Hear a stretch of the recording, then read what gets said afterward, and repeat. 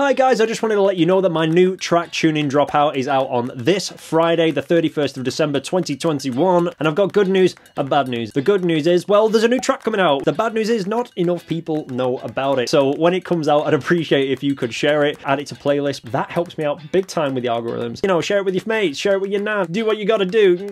Anyway, the track is coming out this time of year because I thought it was a nice time to reflect on a lot of the things that I've been learning about, studying, and it is essentially about illusion the dream that we are living in, creating, and has been created for us, and how we do need to set ourselves free from those things. But ultimately, being free from that is not the same as salvation. And what we really need is a relationship with God, and He will help guide us out of that entangled mess. It's been a really great project to work on. I've had so much fun with the percussion and production and writing the lyrics for this, and I hope that you enjoy it as much as I have enjoyed making it.